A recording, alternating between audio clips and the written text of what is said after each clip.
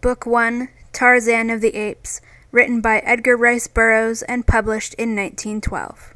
Specific trigger warnings for this book include Tarzan, upon multiple occasions, using a rope fashioned into a noose to murder black people by roping them around the neck and physically dragging them up into the trees.